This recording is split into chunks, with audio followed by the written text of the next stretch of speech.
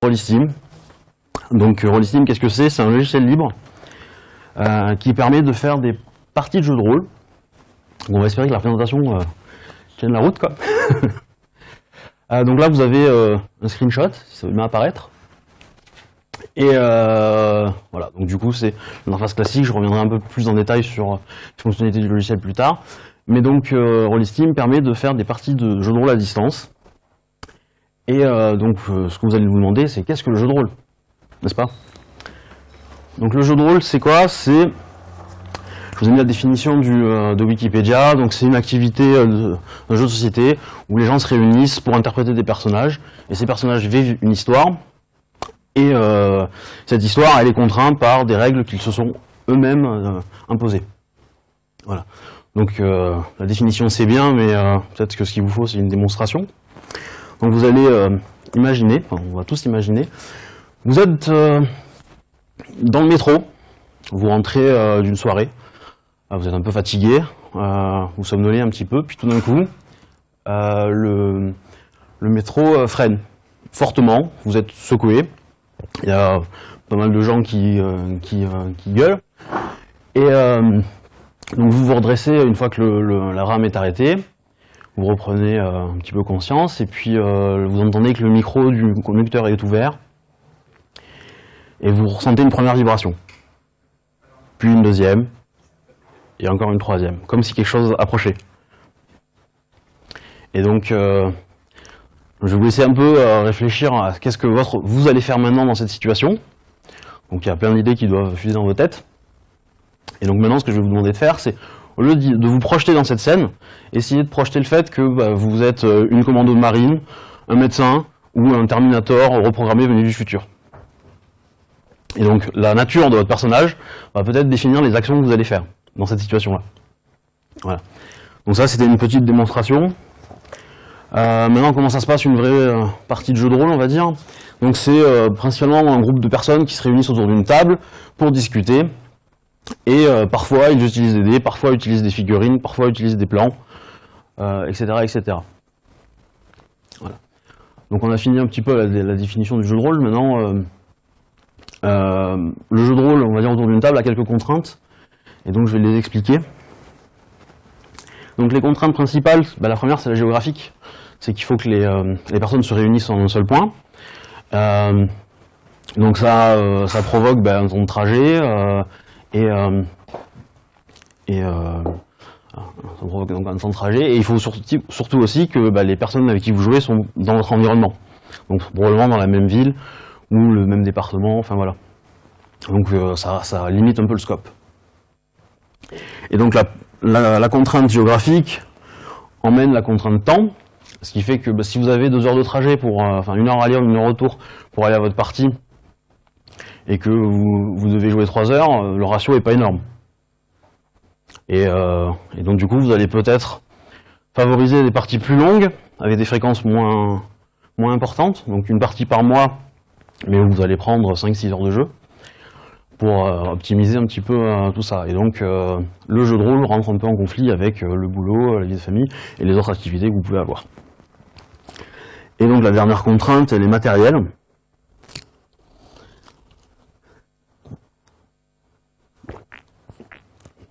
Elle est matérielle parce qu'il faut, quand on se réunit, ben, on a parfois besoin de, matos, donc les dés, des bouquins, un tableau blanc, des Velleda, voilà. C'est pas obligatoire, mais euh, ça peut euh, en faire partie, quoi. Voilà, voilà. Maintenant qu'on a vu les contraintes, l'idée est d'expliquer un petit peu en quoi l'outil informatique peut contrer ces contraintes-là ou les réduire. Euh, donc la première, c'est que bah, le temps et le coût de transport sont nuls. Donc du coup, le ratio est de 1 quand vous, faites une partie de jeu de rôle. Comme on élimine toute la consommation de temps extérieur à la partie, ça permet euh, de, créer une, d'optimiser on va dire son temps et de profiter pleinement de la partie et donc euh, ça encourage les usages de parties plus fréquentes, peut-être plus courtes, mais plus souvent. Voilà. Ensuite, l'autre problématique, enfin, l'autre rapport de l'informatique, c'est que la zone de recrutement des joueurs est plus grande. Donc vous pouvez trouver, euh, vous pouvez jouer avec des gens de partout sur la planète modulo le problème de décalage horaire, mais euh, voilà, si vous avez des amis euh, qui font un stage aux États-Unis ou ailleurs, vous pouvez toujours continuer votre campagne en ligne. Voilà. Et en plus, ça permet, avec une zone de recrutement grande, bah, vous pouvez trouver des joueurs qui sont intéressés par les mêmes jeux que vous. Alors que peut-être que le club de jeux de rôle d'à côté de chez vous, euh, bah, les joueurs seront peut-être pas intéressés par tester euh, des jeux très très spécifiques, quoi, qui vous, vous, donnent envie. Euh. Ensuite, le troisième apport, c'est bah, évidemment l'abstraction des règles. L'informatique, c'est quand même pas mal pour faire des calculs, tout simplement.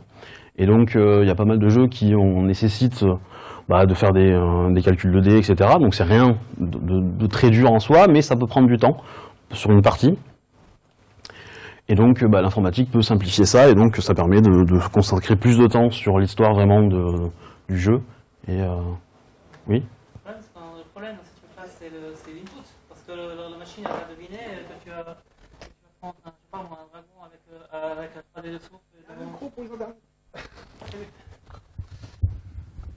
Donc euh, la machine, la- le, pro- le grand problème c'est de, de- de- des jeux où tu dois passer, où tu, où tu informatises le- la, le résolu- la résolution des calculs, c'est que le temps d'entrée des, de, données, de, l'input, est Oui. finalement euh, plus, parfois plus grand que la résolution du calcul à la main, parce que les inputs, les, les joueurs les ont en tête. Alors, Alors que la machine, elle n'a pas la moindre idée de quoi tu parles. Enfin, tu peux, tu peux, input- tu peux mettre une partie dans, dans la base de données, mais tu as beaucoup de trucs, de, de situations qui, qui sont, enfin, qui, euh, surtout pour un truc comme le jeu de rôle où c'est très volatile, quoi. Mm. Des trucs qui sont, enfin, dépendant de la situation immédiate, il faut tout rentrer, il faut rentrer en plus dans un format compréhensible par la machine et tout ça, c'est pas. Alors je pensais pas forcément à, à gérer jusqu'à des mécaniques de, de- de jeu et les stats des différentes créatures, etc.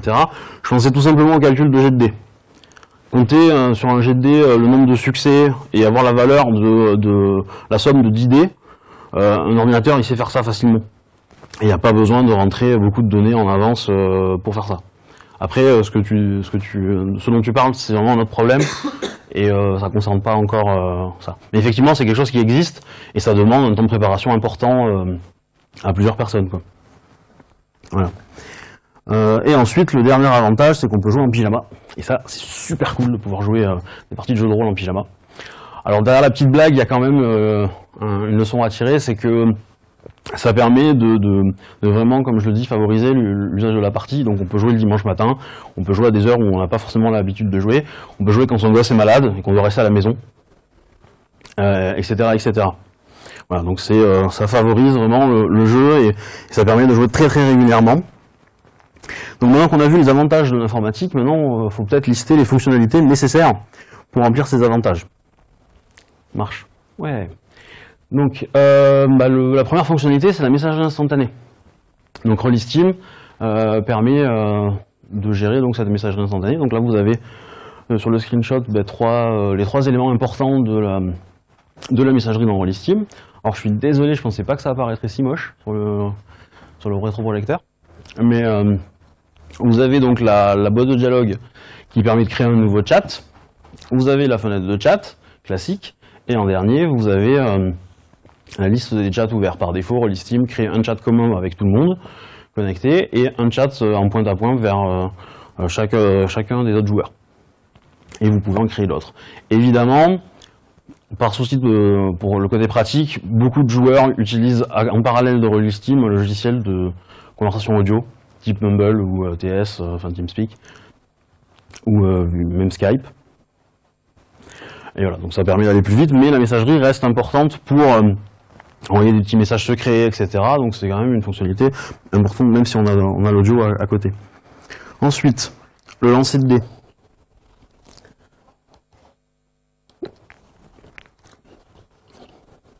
Alors, le lancer de dés, j'y reviendrai un petit peu plus tard dans la présentation, euh, beaucoup plus en détail. Mais dans Rollisteam, pour lancer des dés, c'est via la fenêtre de chat. Et donc vous avez à côté là le- l'onglet qui permet de saisir les préférences et les, les règles d'alias de dés. Voilà. Donc en gros, tout le système de dés se gère par ces deux, éléments-là, pour les lancer et pour créer des petits alias. Ensuite, euh, le système de notes. Donc c'est assez classique, hein, c'est un bête éditeur de texte que- et qui fournit euh, bah, l'export des notes que vous avez en PDF, en euh, ODT, en ce que vous voulez, en HTML. Voilà, donc c'est assez, assez simple et ça permet aux utilisateurs de, de noter de, de leur partie, de conserver des informations, des indices, etc. etc. Après, l'autre grande grosse fonctionnalité, c'est le dessin. Donc propose des fonctionnalités de dessin assez simples pour faire plutôt des schémas. Donc vous attendez pas à faire une œuvre d'art avec, hein, c'est pas forcément fait pour.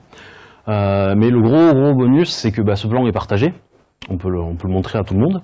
Donc quand euh, vous êtes en partie et que vous avez euh, besoin d'un plan pour un peu me voir la situation, faire un plan tactique, etc., euh, on peut vite fait faire un, petit schéma, vous positionner avec les, petits, les petits tokens de personnages, et comme ça vous avez une vision assez, simple et, précise de la situation. la grosse autre fonctionnalité qu'il y a avec ça, c'est qu'on peut mettre un brouillard de guerre et donc révéler petit à petit euh, le plan en fonction de, bah, de l'avancée de vos personnages. Et euh, pour les, gens qui sont euh, doués en graphisme, on peut toujours importer un plan qui a été fait par un outil un peu plus puissant, type GIMP, Photoshop, etc. Et en plus, ajouter sur ce plan-là bah, les, tokens de, personnages et retrouver le côté tactique.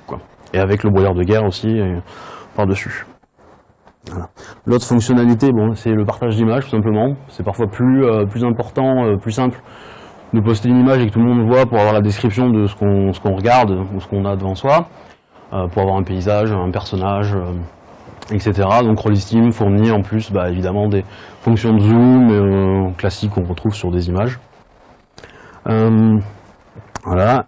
Ensuite, la musique d'ambiance. Donc Rollistim permet de, synchroniser la lecture de musique entre tous les utilisateurs d'une même partie.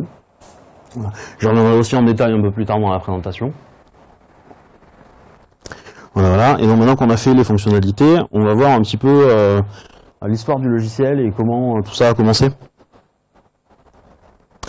Donc au tout début, en 2009, existait un logiciel qui s'appelle Rollistic, qui est un logiciel libre et qui a été développé par Romain Campioni. Euh, mais ce logiciel fonctionnait sous Windows et macOS, et un utilisateur de ce logiciel voulait le faire fonctionner sous Linux. Et donc il a posté un message sur le forum d'Ubuntu euh, francophone. Euh, et, donc du coup, les premières réponses qu'il a reçues, c'était de, bah, l'aider pour euh, faire fonctionner Rollistic sous Wine. Puis d'autres personnes lui ont dit que comme le logiciel était écrit en C++, il était probablement compilable sous, sous Linux. Et c'est à ce moment-là que je suis arrivé dans la conversation, donc j'ai récupéré le code source, j'ai euh, commencé à travailler dessus, et petit à petit, bah, j'ai fourni une première version du code euh, qui était compilable euh, sous, Linux, et donc j'ai dépanné les utilisateurs. J'ai reçu pas mal de petites demandes pour compléter bah, ce, dépannage, et au fur et à mesure, le projet a atteint une taille quand même assez raisonnable. Et comme le propriétaire de Rollistic n'avait plus le temps de travailler dessus, etc., j'ai dû forquer le logiciel, et donc j'ai créé Rollistic. Voilà. Maintenant, on va voir un petit peu euh, les gros axes de développement qu'il y a eu entre Rollistic et Rollistim. Voilà. Donc euh, le premier constat que j'ai fait euh, quand j'ai commencé à travailler sur Rollistim, c'est que le code hérité était quand même assez mal architecturé. Mal architecturé sur deux niveaux. Le premier, c'était que tous les fichiers étaient dans un même, même endroit, même dossier, sans, sans hiérarchie, sans explication ni rien. Et le deuxième, c'était que bah, il n'y avait pas forcément de conception propre dans le logiciel. On, il y avait du code dupliqué partout. Euh, voilà, c'était assez euh, un autre spaghetti assez compliqué à, déchiffrer. Et donc, pour illustrer mon propos, euh, je vais vous me servir d'un exemple d'une fonction qui dans Rollistim permet de fermer un plan ou une image. Donc quand l'utilisateur fait je veux fermer ce plan-là, ce que fait le logiciel, c'est qu'il regarde l'élément courant, il vérifie que c'est une image ou un plan, et si c'est bien le cas, il récupère l'identifiant, il supprime euh, cette image ou ce plan et il envoie sur le réseau l'ordre de fermer ce plan à tout le monde. Voilà l'algorithme simple de la méthode qui me sert d'exemple. Donc la première version, là vous avez comment Rollistic récupère son identifiant. Donc vous voyez que selon qu'on a une image ou selon qu'on a une carte, la méthode appelée n'est pas la même. Je passe sur le cast fait euh, comme, ça, vite fait, et puis euh, le non-contrôle de la présence de la carte. Mais voilà. Et donc du coup, clairement, les, deux éléments ont, comment dire, une espèce de tronc commun qui est qu'ils possèdent un identifiant. Et donc pour corriger ce problème-là, dans Rollisteam, euh, j'ai fait en sorte que euh, la fenêtre euh, de carte et la fenêtre d'image héritent de ce, a, ce que j'ai appelé le media conteneur. Et donc maintenant, pour récupérer l'identifiant, il suffit de faire euh, le get media, media ID. Voilà.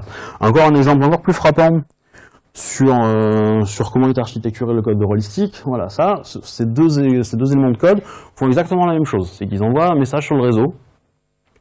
La catégorie du message, c'est euh, map, donc c'est plan. Euh, et l'action, c'est fermer le plan. Et on passe l'identifiant en paramètres. Donc voilà. Pour info, la, mé- la méthode complète dans Rollistic fait 120 lignes.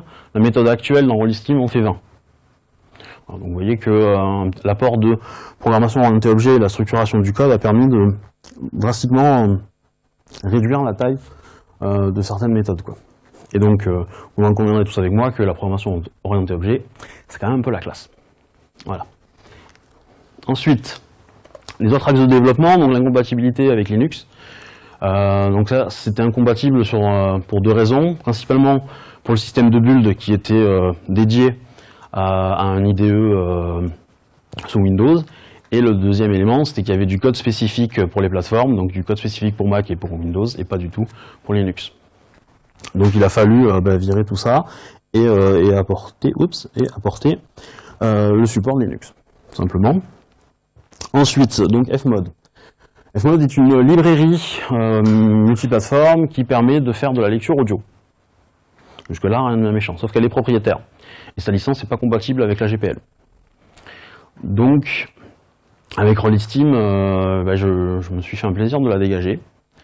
D'autant qu'en plus, dans la ver- version utilisée par Rollistic, qui est une très vieille version, et que sous euh, Linux, elle n'est pas disponible en 64 bits. Donc ça va poser pas mal de problèmes pour des utilisateurs au début de Rollistim qui voulaient euh, compiler le soft en 64 bits. Euh, donc voilà, ça, ça, ça, a contraint à la remise à plat complet de l'audio pour changer tous les composants qui, euh, étaient utilisés pour lire le- les fichiers musicaux. Ensuite, alors le, quand je dis que le code source est en français, euh, là aussi ça posait encore deux problèmes. Principalement des problèmes d'affichage et de caractère 7 euh, quand on compilait le soft sous, sous Linux, parce qu'on se retrouvait avec des chaînes de caractères qui étaient en, en ISO je sais pas combien de Windows là. Et en plus, euh, le code source étant en français, comme j'avais vocation à créer un logiciel qui puisse être modifié par, euh, par euh, tout le monde, et donc par des développeurs de, de, toute, la, planète, bah, j'ai commencé un travail de traduction euh, du code source. J'ai aussi permis, mis en place un système pour que le logiciel soit traduisible. Et j'ai pris l'anglais comme référence pour simplifier. euh, simplifier. Donc voilà. Ensuite, euh, Rollistic souffrait de, n'avoir aucun standard implémenté. Donc quand je dis standard, c'est les, les petites méthodes qu'on trouve basiquement sur un programme. Les fichiers récents chargés, euh, le drag and drop, un système de préférence, etc. Voilà, c'est les, petites, petites features-là qui sont, qui sont habituelles et que j'ai dû rajouter. Voilà. Donc maintenant qu'on a fait un peu le tour des grands axes euh, de développement entre Rollistic et Rollistim, je vais vous parler euh, plus précisément de la chronologie de Rollistim. Donc le projet a commencé en 2009, comme je l'ai dit. Euh, très rapidement, donc fin 2009, je sors une version euh, 1 euh, avec des, binaires, etc. Puis juste après, je commence le développement de la branche euh, 2.0. Et donc cette branche, c'est un refactoring complet du logiciel où j'ai euh, j'ai viré une grande partie euh, des choses que je trouvais euh, pas, mal, conçues dans Rollistim. Et donc, pendant ces, j'ai travaillé dessus pendant trois ans à peu près. Et donc, dans cette période de temps-là, j'ai reçu la contribution de, Joseph Boudou qui a fourni une grosse feature et qui a re- reworké complètement le système de chat.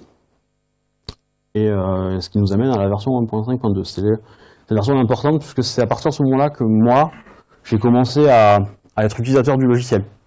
C'est qu'avant, j'étais juste un développeur qui travaillait sur un logiciel libre, et là, je suis devenu utilisateur de ce logiciel. Donc, quelques temps après est sortie la version 1.6, qui est la version qui marque l'arrêt du développement de la, branche 2.0, et, c'est le début du merge entre la 2.0 et la branche principale. Donc, j'ai commencé à reprendre le refactoring que j'avais fait dans la, dans la 2.0 et à le remettre dans, dans la branche principale. Et juste après ça, j'ai pris la décision de commencer à travailler vraiment pour améliorer et ajouter de nouvelles fonctionnalités. Parce que euh, principalement ça prenait trop de temps. C'est que je voyais, euh, en fait ce que j'avais euh, principalement dégagé dans la 2.0 c'était tout le code réseau. Et, le refaire aurait, aurait pris trop de temps et donc j'ai préféré, comme José Boudou qui a participé donc à la, la 1.5 avait fourni quelques outils euh, au niveau du réseau, ben, j'ai décidé de récupérer son travail et de me baser là-dessus pour proposer de nouvelles fonctionnalités. Et surtout que je voyais, euh, je voyais que l'écriture allait prendre, allait prendre trop de temps et que ça allait empêcher les, sorties régulières et donc euh, casser un peu le rythme de, de sortie. Quoi. Donc après, euh, une fois que la, sor- la 1.6 est sortie, euh, très rapidement après, je me suis mis à, réfléchir à, un, Dice Parser, qui est le système 2D de Rollistim. Euh, ça m'a permis de me former un peu avec Git au début, parce que j'avais le projet de, passer le Rollistim sous Git à ce moment-là, mais je voulais un peu me familiariser avec. Voilà, donc j'ai développé ça pendant un petit moment. Ensuite, une version majeure, mais euh, qui est la 1.6.1, qui vient corriger pas mal de soucis. Et juste après ça, j'intègre euh, j'intègre Dice Parser à, à la branche principale. Je passe le projet sur Rollistim. Je, je sors de, de Google Code, parce que de toute façon ça allait fermer. Euh, et euh, en 2015, donc je sors la version 1.7 très rapidement, avec donc le Dice Parser comme grosse fonctionnalité et comme gros gain. Quoi. Voilà. Et depuis, bah, je travaille sur la nouvelle version, donc la 1.8. Et les dernières semaines, bah, j'ai travaillé mon passage en scène. Voilà. Donc maintenant, on va travailler, on va regarder un peu les usages du logiciel, comment on s'en sert. Euh, donc quand vous démarrez Rollistim, en fait, ce que vous allez voir, c'est ça. C'est une petite fenêtre euh, qui vous demande de choisir si bah, votre nom, votre couleur, euh, si vous êtes MJ ou joueur, et si vous hébergez la partie ou pas. Voilà. Et donc ça, ça, c'est anodin, mais c'est la plus grosse complexité du logiciel. C'est-à-dire que tout développement dans Rollistim nécessite à être testé dans des quatre cas de figure MJ client, MJ serveur, joueur client, joueur serveur. Et c'est un cauchemar à, euh, développer quoi. Donc on se retrouve avec pas mal de soucis et, euh, donc du coup et en plus la petite su- subtilité c'est qu'évidemment donc le MJ donc le maître de jeu qu'on peut imaginer comme étant le euh, on va faire une métaphore sportive donc c'est l'équivalent de l'arbitre, le terrain, l'équipe adverse, le, le public, euh, la météo euh, dans un match de foot quoi, voire même la FIFA. Donc euh, c'est quelqu'un de très important dans pas mal de jeux de rôle, donc c'est pas un rôle obligatoire, mais voilà. Et donc il faut lui attribuer des permissions et, voilà. Et donc c'est quand même quelque chose d'assez important. Une fois que vous faites ça, que vous appuyez sur connexion, le logiciel s'ouvre, vous avez un espace vide et que vous pouvez meubler avec bah, différents médias, etc. Et donc ça peut donner quelque chose comme ça. Donc là vous avez un exemple avec avec du brouillard de guerre qui est positionné sur le plan. Euh, on va faire un petit tour un peu des, euh, euh, des encarts. Alors, comment ça marche là? Donc ça, c'est la zone de notification. Ça permet d'avoir bah, tous les messages, les, des fichiers chargés, éventuellement des personnes qui se connectent, qui se déconnectent, etc. Ensuite, en dessous, vous avez la liste des, chats qui sont ouverts et créés, et que vous pouvez afficher euh, ou cacher hein, à volonté. Vous pouvez en créer des nouveaux pour aller parler à plusieurs personnes à la fois. Encore en dessous, vous avez un arbre qui euh, liste les, joueurs, et en dessous, vous avez les personnages qui appartiennent à ces joueurs-là. Et encore en dessous, vous avez l'outil de, musique. Euh, après, donc, de l'autre côté, vous avez donc les, les outils de dessin et euh, voilà, le reste euh, est assez simple à, comprendre, je pense.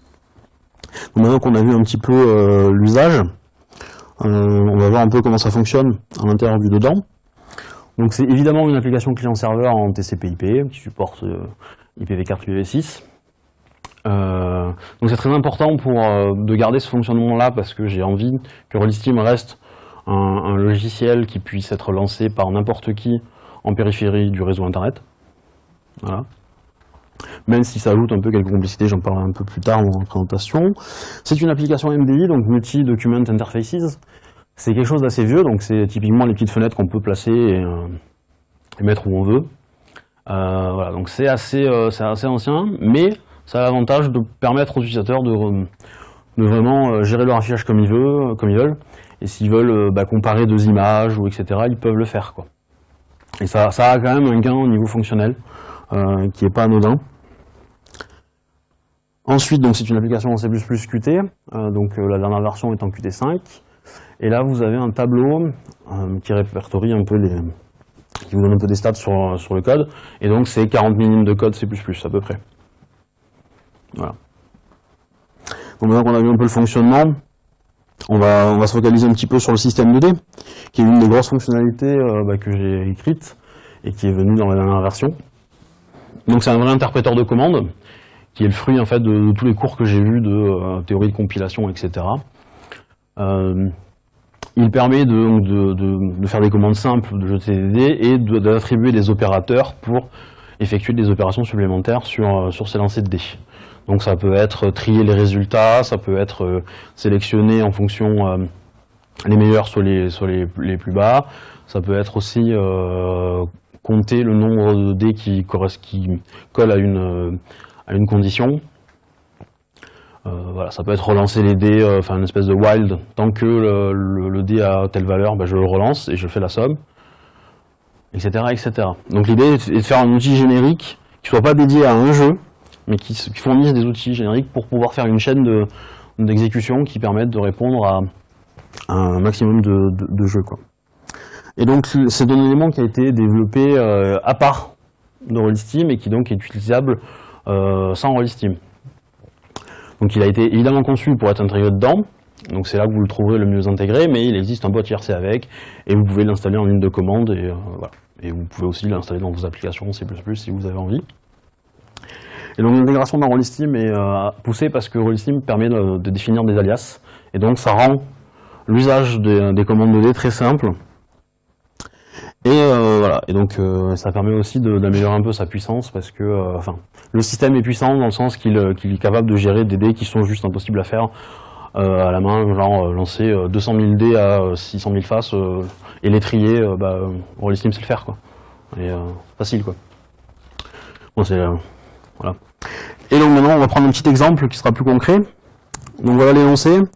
Vous voulez lancer n dés à 10 faces, sachant que les dés à 10 faces ne sont pas de 1 à 10 mais de 0 à 9. Vous voulez garder les m plus bas et compter parmi les m ceux qui sont inférieurs ou égaux à p. Voilà, donc vous voyez que l'énoncé est quand même un peu long. Et donc Rollistim, pour gérer ça, vous pouvez définir cet alias. Donc euh, l'alias s'appelle days parce que le, le jeu en question s'appelle d donc voilà, c'est pour, pour faire une référence au jeu. Et donc, euh, bah, vous voyez que l'alias a trois paramètres et que la commande derrière en a trois aussi. Donc le premier c'est le, nombre de dés qu'on lance, le deuxième c'est le nombre de dés qu'on garde, et le troisième c'est la valeur du, de seuil inférieur ou égal, quoi. Tout simplement. Et donc en usage dans Rollistim, à quoi ça ressemble, voilà quoi, quoi ça ressemble. Donc vous voyez ici que euh, a, euh, a gardé les trois plus bas, que le 4 n'a pas été compté parce qu'il n'est il n'est fait pas partie des trois plus bas. Et voilà. Et donc du coup la commande tapée par l'utilisateur pour lancer son, sa- jet de dés bah, est relativement simple, hein, c'est 6D3,4. Voilà, sachant qu'on aurait pu encore simplifier pour mettre qu'un seul dé par exemple, etc. etc. Donc maintenant qu'on a vu le système de dés un peu en, détail, on va s'atta- s'attacher un petit peu aux autres fonctionnalités qui sont venues dans la dernière version. Donc la première, c'est la personnalisation. Beaucoup d'utilisateurs et de joueurs de jeux de rôle aiment avoir un logiciel qui colle un petit peu à l'univers dans lequel ils sont, pour euh, améliorer un petit peu leur immersion. Donc s'ils sont dans, un, jeu un peu euh, science-fiction, ils vont avoir envie d'une interface qui fait un peu futuriste. Et s'ils sont euh, dans du médiéval fantastique, ils vont avoir une, ils veulent voir une ambiance un peu bois, un peu ancienne, quoi. Et donc Rollistim a mis en place, enfin j'ai mis en place un système de thème et C'est classique, donc par défaut je propose un thème blanc et un thème noir, tout simplement. Alors, Rollistim permet de changer l'image de fond, euh, et euh, pour un utilisateur un peu avancé, on peut aller très très loin à changer les icônes, etc. etc. Voilà, ça demande un peu de temps, mais c'est faisable. Ensuite, une fois qu'on a vu le, thème, on va parler un peu de l'audio. Donc, euh, quand j'ai refondu le système audio, bah, j'ai ajouté la gestion de trois pistes. Donc principalement parce que des utilisateurs ont envie d'avoir un fond sonore, un fond musical et une piste avec des, des petits bruitages. Et, euh, et en plus de ça, sur le système audio, j'ai permis euh, la lecture hein, de flux et de fichiers distants. Le problème de, de l'audio dans Rollistim, c'est que euh, les fichiers ne sont pas transférés. C'est juste de la synchronisation de lecture. Donc il faut que les fichiers soient au préalable disponibles chez tout le monde. Ce qui est un peu euh, contraignant. Et euh, alors je l'ai fait principalement pour des raisons de droit, parce que j'ai peur que si j'autorise le streaming dans Rollistim, Rollistim tombe sous des lois qui sont pas cool. Donc par sécurité, comme je suis pas un expert en droit, euh, j'ai pas euh, développé ça. Mais par contre, je, je permets euh, maintenant de vous pouvez poser les fichiers bah, sur un serveur web et puis tout le monde va lire ce serveur, ce serveur web ou votre web radio et ça fait le taf quoi. Donc c'est plutôt pratique au niveau gain de fonctionnalité. On va voir un petit peu maintenant les nouveautés qui qui vont arriver dans la prochaine version. Donc la première c'est le plan vectoriel. Donc voilà, c'est un, nouveau système de plan qui apportera beaucoup plus de fonctionnalités par rapport à celui actuel. Euh, donc là, bah, vous pouvez positionner des images sur le plan, vous pouvez euh, sélectionner tous les éléments, les agrandir, les bouger. Voilà, c'est vraiment euh, du vectoriel. Et on retrouve le même fonctionnement qu'avec l'ancien, c'est-à-dire au niveau du boulard de guerre, ce sera encore même plus performant puisqu'il va y avoir des gestions de, de lumière, etc. Voilà, voilà. Donc ça, c'est en cours de développement. C'est pas mal avancé déjà. Ensuite, la fiche de personnage. Donc la fiche de personnage, il faut voir que c'est euh, donc en jeu de rôle souvent euh, un personnage est décrit par une fiche avec des statistiques, son score d'intelligence, etc. C'est pas obligatoire, mais ça arrive assez fréquemment. Et donc euh, la fiche de personnage a deux, aspects. Un, c'est une espèce de base de données de valeurs et de, et de chiffres sur le personnage, et en plus, ça a un intérêt visuel. c'est une, une interface, ouais, une connexion entre l'utilisateur qui veut avoir un truc simple et pouvoir euh, avoir une, euh, une fiche de personnage interactive. Et donc du coup, euh, pour cette fonctionnalité-là, on- j'ai décidé d'utiliser le langage QML, qui est exactement le même langage utilisé pour faire ma présentation. Et donc du coup, là, vous pouvez voir un exemple comme quoi l'utilisateur a lancé euh, corps des 10, et donc la valeur de corps c'est 9, et vous voyez qu'il a lancé 9 chiffres, un 9D. Et donc euh, le, la, la base de données entre guillemets de la, de la fiche de perso est déjà connectée au système de D, et le système de D est capable d'aller chercher dans la fiche de perso les infos dont il a besoin. Voilà. Et la dernière euh, fonctionnalité, c'est le générateur de noms et le convertisseur d'unités. Voilà, donc c'est deux petits outils qui, euh, qui sont les deux premiers euh, d'une série d'outils que je pense développer, qui sont euh, des éléments, comment dire, un peu, un peu inutiles mais donc indispensables. Et euh, voilà, donc ça permet aux, aux, euh, utilisateurs de générer des noms euh, ou de convertir des unités, parce que ça peut être intéressant d'avoir ça. Et c'est vraiment des éléments très réduits et qui n'ont aucun impact sur le réseau, donc voilà, c'est des petites boîtes fonctionnelles, plutôt, plutôt agréables. Donc maintenant qu'on a les nouveautés de la prochaine version, on va un petit peu s'attacher, voir les nouveautés dans le futur lointain. Donc la première, c'est le serveur dédié que je voudrais implémenter, tout simplement parce que euh, parce que euh, c'est un problème assez important, c'est que beaucoup d'utilisateurs n'utilisent pas Rollistim parce qu'ils se trouvent contraints, euh, parce qu'ils n'arrivent pas à ouvrir leur port, leur port sur leur marchand box. Et c'est embêtant.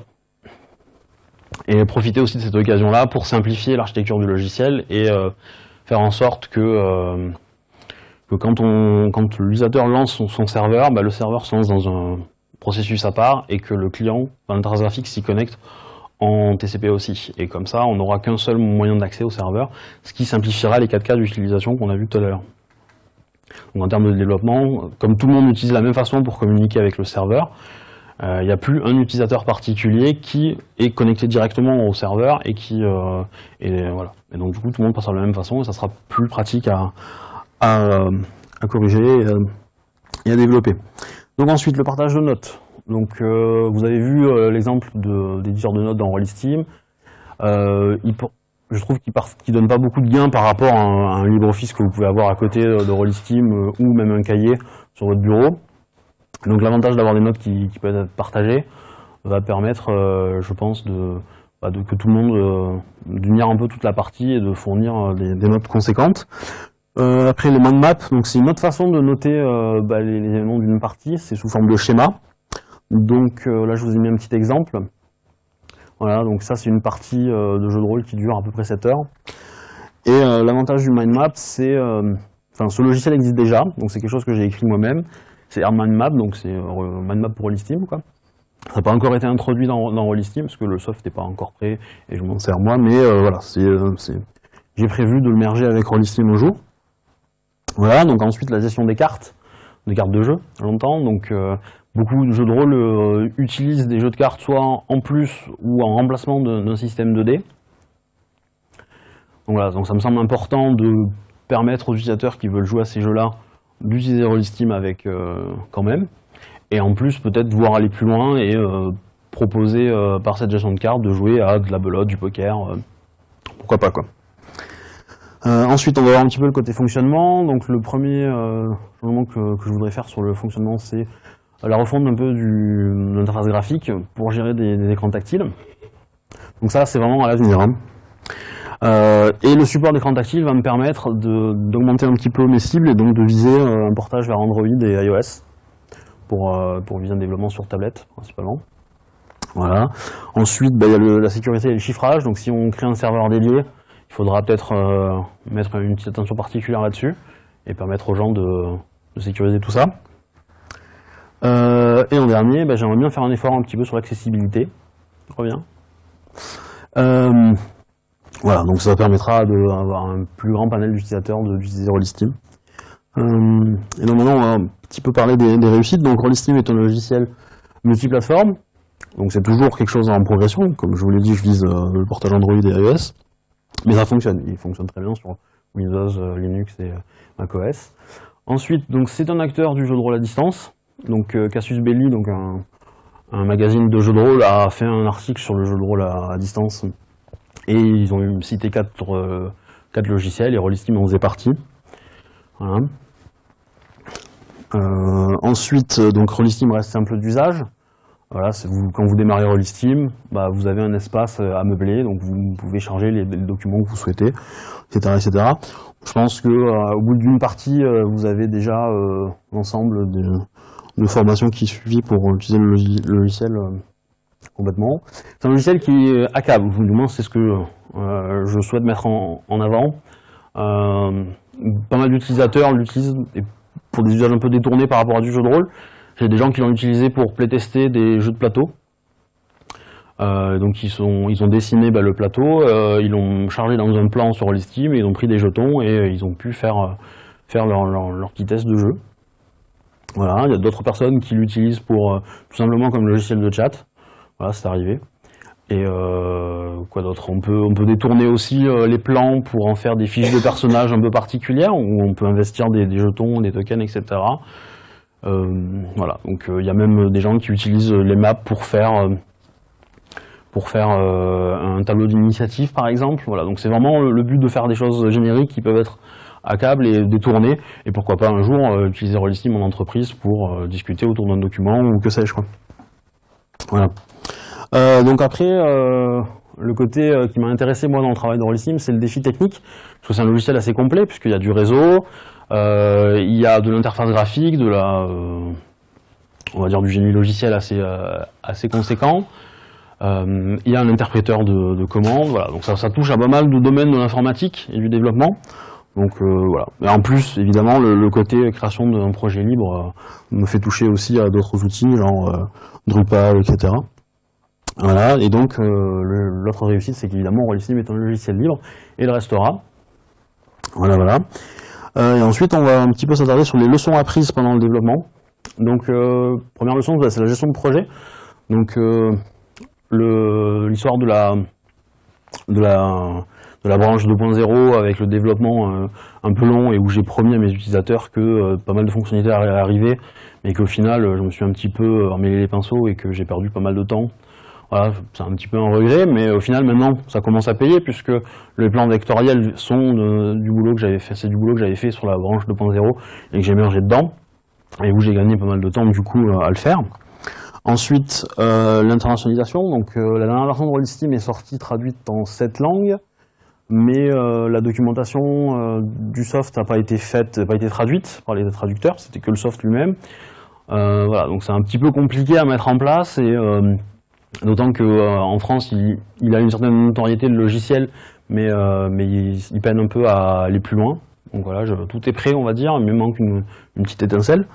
Euh, ensuite, les contributions. Donc, euh, pour la contribution de la refonte du système de chat, j'étais, moi, concentré dans la, dans la réécriture de la 2.0 et j'ai pas forcément vu à quel point la, contribution était importante et pouvait me bénéficier. Donc, du coup, j'ai peut-être, euh, comment dire, mal géré euh, cet, aspect-là. Et euh, pareil, j'ai eu d'autres contributions qui, ne respectaient pas la philosophie du soft. Typiquement, un gars m'a envoyé un, bout de code pour gérer un jeu particulier au niveau des systèmes 2D. Et c'était avant que Dice Parser existe. Et du coup, j'ai accepté sa contribution. Mais moi, dans ma tête, j'avais déjà le système 2D, euh, on va dire générique. Et euh, voilà, donc je l'ai accepté pour pas le démotiver. Mais au final, ça collait pas forcément avec ma vision du soft. Et euh, du coup, quand Dice Parser est arrivé, euh, j'ai tout viré, quoi. Et voilà, donc du coup, pour pallier à ça, maintenant, je tiens une roadmap précise qui est accessible par tout le monde. Voilà, et on peut commenter, on peut facilement me contacter pour, pour me, pour ou autre chose, quoi, ou pour participer. Donc ensuite, le streaming, donc ça, c'est trois fonctionnalités qu'on me demande régulièrement et que j'ai pas encore fait pour certaines raisons. Donc le streaming audio, j'en ai déjà parlé, donc c'est principalement pour des problèmes de droit.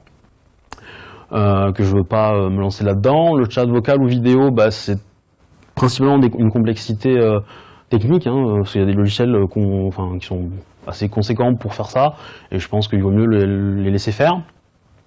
Après, j'ai pas mal de, enfin, de gens autour du, logiciel libre qui me demandent pourquoi ne pas passer à, à un protocole XMPP. Euh, moi, je suis pas contre, mais j'ai aucune idée de, euh, dire, de, du temps que ça me prendrait de le faire, et est-ce, qu'à la fin, au bout de 5, 6 mois, 8 mois de développement, je suis sûr d'avoir un, un truc iso-fonctionnel parfait, exactement comme je veux. Je, je connais pas assez bien la techno pour, pour être certain de ça. Donc voilà, donc je serais pas contre, mais euh, c'est pas une priorité pour moi. Pour le- la contribution du gars qui voulait faire un peu spécifique, en, en quel problème de faire ça sous forme de, de mode ou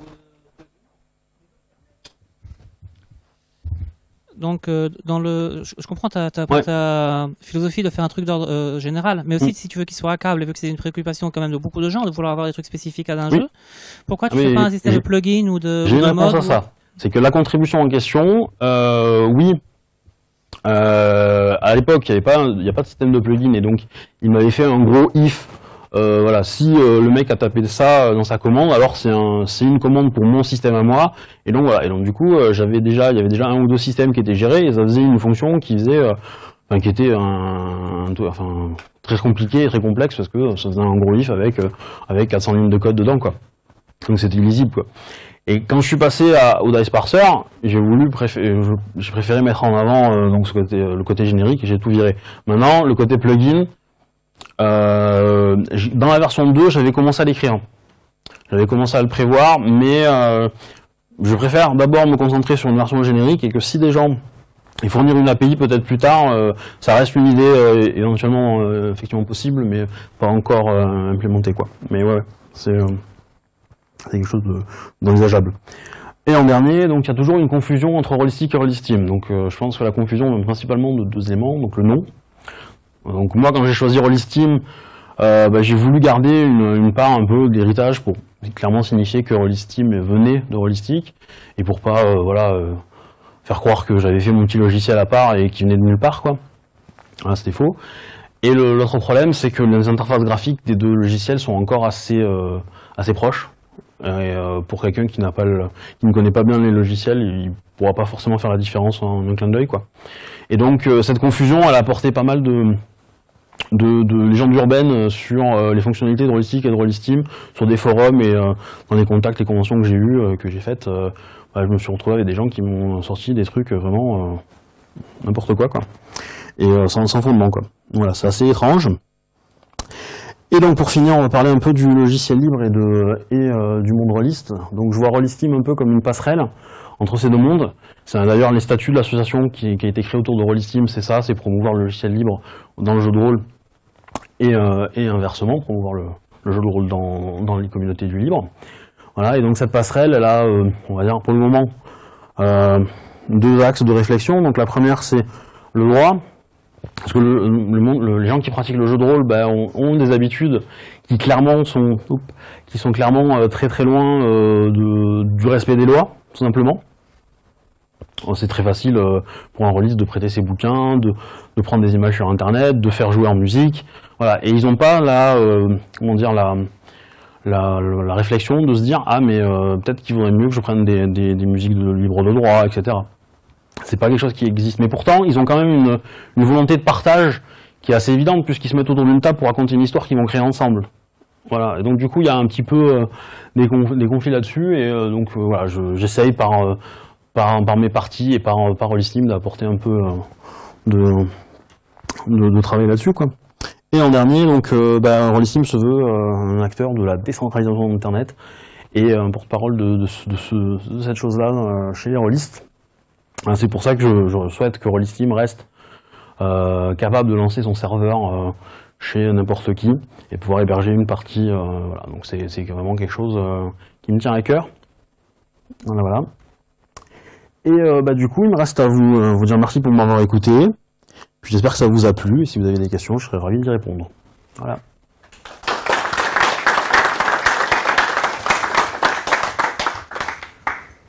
Bon, désolé, hein, je ne pensais pas que le- la présentation serait euh, aussi éclatée au niveau du rétroprojecteur. euh, salut. Euh, Oui. Moi, j'ai envie de revenir sur l'outil que tu as fait pour euh, tes G2D.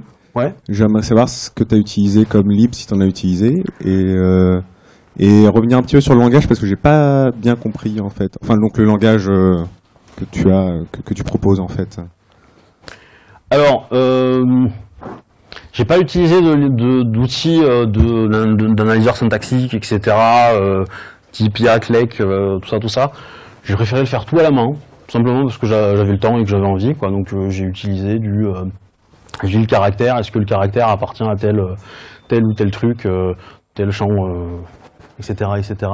Donc euh, voilà, j'ai tout fait en, en C++ Qt et c'est assez, c'est quand même un outil qui est, qui je trouve, je vais m'envoyer des fleurs, mais que je trouve assez bien conçu, dans le sens que ajouter un nouvel opérateur me prend, me prend même pas une heure quoi. Voilà, quand euh, quelqu'un me dit ah ben euh, moi j'ai euh, dans mon jeu il faut faire telle chose, il faut par exemple on lance un D4 et un D6 et il faut il faut merger les résultats des deux et prendre le plus grand des deux. Du coup, moi j'avais déjà l'opérateur prendre le plus grand des deux, mais, mais c'était le plus grand d'un seul, seul même type de dé. Donc on pouvait lancer 2 D6 et prendre le meilleur des deux, mais lancer un D4 et un D6 c'était pas possible. Donc j'ai fait un opérateur merge qui permet de merger les résultats, et après l'opérateur derrière de, de sélection permet de prendre le meilleur des deux. Et voilà. Et du coup, euh, c'est ça que je trouve assez agréable dans, l'outil. Et après, je pense qu'un expert en théorie de compilation aura des choses à redire dessus, clairement. Mais euh, voilà, ça fonctionne et c'est euh, assez puissant quoi. Je vous invite donc à l'installer sur votre machine et euh, vous pouvez lancer euh, dice euh, espace et lancer des petites commandes. C'est peut être rigolo. Une autre question? Une autre question? Là.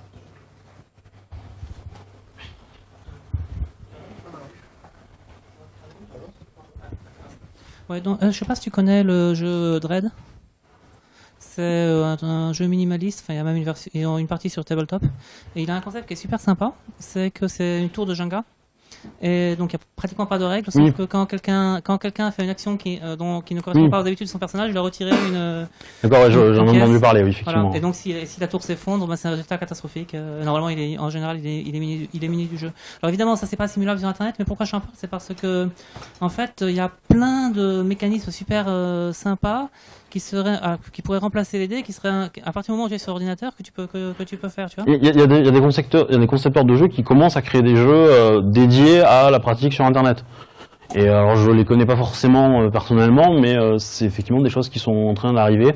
Il faut, voir que c'est assez nouveau. Hein, euh, je veux dire, le, jeu en ligne, euh, euh, donc le Rollistim existe depuis euh, depuis 2008, mais euh, mais même peut-être un peu avant. Et euh, mais ça a explosé, je pense, euh, l'année dernière en France, en tout cas, euh, par le joueur du grenier qui a fait des vidéos là-dessus.